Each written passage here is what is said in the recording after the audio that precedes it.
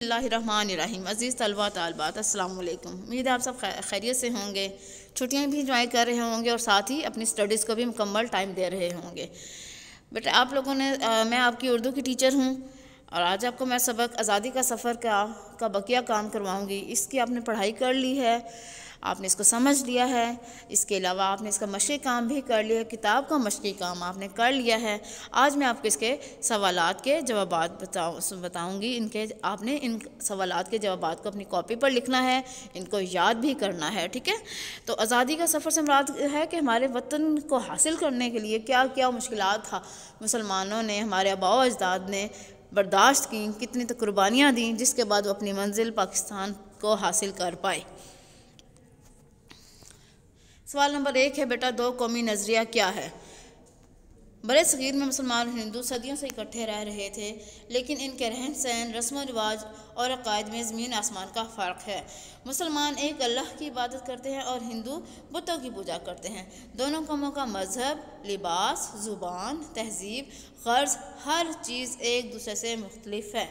यूँ मुसलमान हिंदुओं से एक अलग कौम है और यही दो कौमी नज़रिया है, यही दो कौमी नज़रिया कहलाता है। इसका मतलब है कि बेटा, हम मुसलमान जो हैं, अल्लाह ताला की इबादत करते हैं, हम उसी को एक मानते हैं, हम उसी के आगे सर झुकाते हैं। हमारी हर मुश्किलों का हल अल्लाह ही के पास होता है। हमारा मुश्किल कुशा है, हमारा रब्बुल आलमीन है। इस पूरी कायनात का खालिक और मालिक है। ये कायनात उसी के हुक्म से बनी, ये कायनात उसी के हुक्म से ख़त्म हो जाएगी। हम अल्लाह के आगे सर झुकाते हैं, हम किसी बंदों के आगे, किसी बुत के आगे हम सर नहीं झुकाते। ठीक है? हमारा ये यकीन है कि अल्लाह वादा शरीक है, हम तोहीद पर यकीन रखते हैं। अल्लाह को एक मानना तोहद कहलाता है ना? तो हम एक तो हम अपने नज़रिए पर पुख्ता हैं, हम जानते हैं, हम इस बात का यकीन है कि अल्लाह ही मालिक मालिक कायनात है, खालिक कायनात है, हर काम उसके मर्ज़ी और हुक्म के मुताबिक होता है। हर ज़िंदगी मौत उसी के कब्ज़े में है। चरिंद, परिंद कायनात, पहाड़, हर चीज़ अल्लाह ही ने बनाई है। जबकि हिंदुओं का अकीदा हमारे अकीदे से बिल्कुल मुख्तलिफ़ है। वो बुतों की बेशुमार बुतों की पूजा करते हैं। उनके हर चीज़ के लिए डिफरेंट बुत हैं। मुख्तलिफ़ किस्म के बुत हैं। मट्टी के पत्थर के, पता नहीं किस किस किस चीज़ के बेटा उन्होंने बेशुमार बुत बना रखे हैं, जिनके आगे वो सर झुकाते हैं। जबकि ये जो बुत हैं, इन्होंने ख़ुद बनाए हैं। क्या ये हमारा, कैसे इनकी मदद कर सकते हैं? बहरहाल तो इनका हमारा ये सबसे बड़ा फ़र्क तो ये अकीदे का है। हम मुसलमान कौम हैं, दीन इस्लाम के मानने वाले हैं, जबकि हिंदू बुतों की पूजा करने वाले हैं। फिर हमारा ज़ुबान एक दूसरे से बिल्कुल मुख्तलिफ़ हैं। हमारा रहन सहन से तो मुख्तलिफ़ है। हमारा जो है, खाना पीना इनसे मुख्तलिफ़ है। हमारी, हम गाय की कुर्बानी करते हैं अल्लाह के राह में, बड़ी ईद पर, ईद जिलहज की ईद पर। जिलहज के महीने में ईद अजी मनाई जाती है, जब जिसमें हम गाय की कुर्बानी करते हैं, अल्लाह के राह में इसको कुर्बान किया जाता है, हम इसका गोश्त खाते हैं। ठीक है? जबकि हिंदुओं के नज़दीक ये इंतहाई मतबरक जानवर है, जिसको ज़िबा करना गुनाह है। वो उसको मानते हैं, जब और उसकी इबादत करते हैं। वो उसको जो है, बिल्कुल उसको ऐसे रखते हैं जैसे कोई खुदा है वो उनका, ठीक है? इसी तरह हमारा जो है, रहना सहना उनसे मुख्तलिफ़ है, हमारा लिबास उनसे मुख्तलिफ़ है। तो इसलिए इस चीज़ को हमारे मुसलमान जो रहनुमा थे, उन्होंने समझ लिया और उसके अपनी बेश, अपनी मेहनत के ज़रिए, अपनी लगन के ज़रिए मुसलमानों ने इस वतन को हासिल किया उन रहनुमाओं की वलवला अंगेज़ क़्यादत में। ठीक है? उनका, रहनुमाओं ने मुसलमानों को बताया, समझाया, उनमें आज़ादी की रूप की उनको ख्वाब गफला से जगाया, उनको खुदी को जगाया, जिसके बाद मुसलमान एक होकर जिदोजहद करने लगे एक अलग वतन के लिए। ठीक है बेटा? तो इस वलवला अंगेज़ की आदत के कौन, किसकी क्यादत में हमने वज़न हासिल किया? अलामा इकबाल, कायद अज़म रहमत और सर सैद अहमद ख़ान मुजद अलिफ़ानी शाह वली इन सबने मुसलमानों को बताया कि आपने अपने लिए अलग वतन हासिल करना है ताकि आप अपनी ज़िंदगी को इस्लाम के ज़र्री असूलों के मुताबिक गुजार सकें, आज़ादी से इबादत कर सकें, आज़ादी का सांस ले सकें, जैसे चाहे, जहाँ चाहे इबादत कर सकें। अल्लाह ताला की, जबकि आज का हिंदू, हिंदुस्तान में आज का मुसलमान बहुत मुश्किल ज़िंदगी गुजार रहा है। उस पर इंतहाई जुल्म सितम किया जाता है और वो मुसलमान इस चीज़ पर कह, कहते हैं मुसलमानों से कि आप शुक्र करें कि अल्लाह ने आपको एक अलग वतन दिया है। ठीक है उसके बाद है दूसरा सवाल बेटा कि अलामा इकबाल ने किस खुतबे में अलाहाबाद पाकिस्तान का नक्शा पेश किया? किस खुतबे में?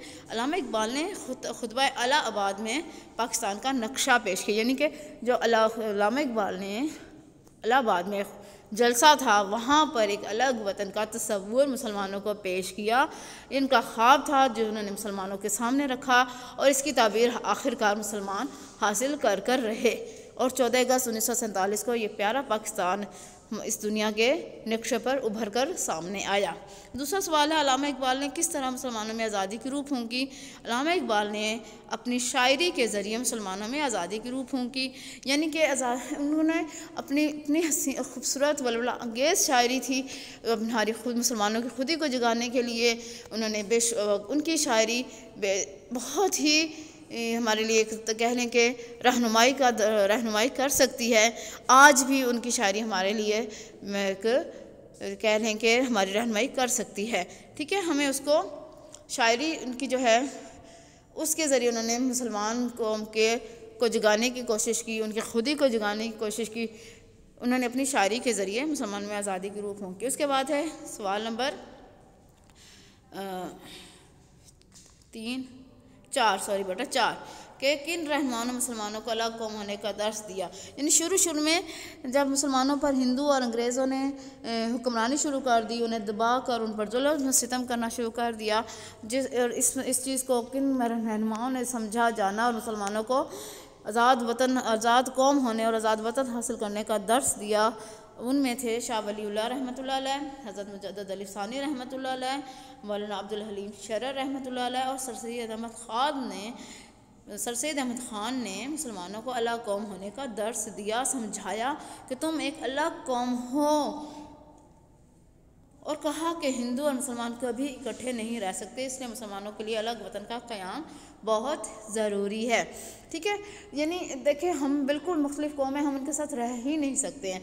और ये तो हमारे कुरान पाक में अल्लाह ताला का भी फरमान है कि यहूद नसारा कभी तुम्हारे दोस्त नहीं हो सकते, कुफार कभी तुम्हारे खैर खा नहीं हो सकते हैं। इसलिए हम उन्हें अगर अपना खैर खा समझते हैं तो बहुत बड़ी गलती पर हैं। तो इस वतन को हासिल करने के लिए हमारे आबा अजदाद ने बेशुमार कुर्बानियाँ दी हैं। ये वतन हमें अपनी प्लेट में रख कर नहीं दे दिया गया था, इसके लिए इतनी कुर्बानियाँ दी गई कि हम सोच भी नहीं सकते।